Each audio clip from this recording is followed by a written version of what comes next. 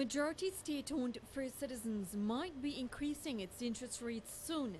This is according to Group CEO Larry Nath, who says the bank is reviewing its options, cost of funds and liquidity market conditions. If our bank does revisit our, um, our rate, it would be probably within the next month or so. This comes days after the central bank increased its repo rate yet again by 25 basis points to 3.25%. And according to the central bank governor, the increased repo rate is a signal for banks to adjust their interest rate structure, a signal he doesn't expect the banks to disregard.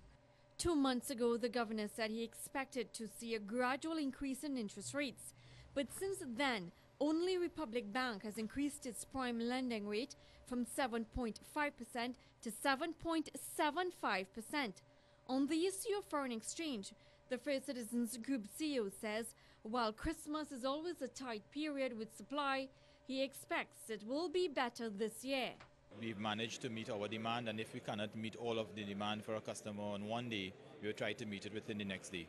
But with falling oil prices, which leads to a drop in revenue from energy companies, the question is how would this now affect the supply of foreign exchange when these energy companies are the major suppliers?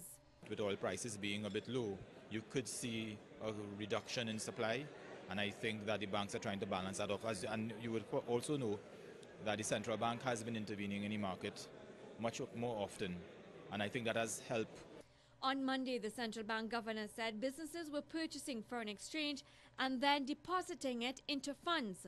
And this, he said, is creating a further problem in the market.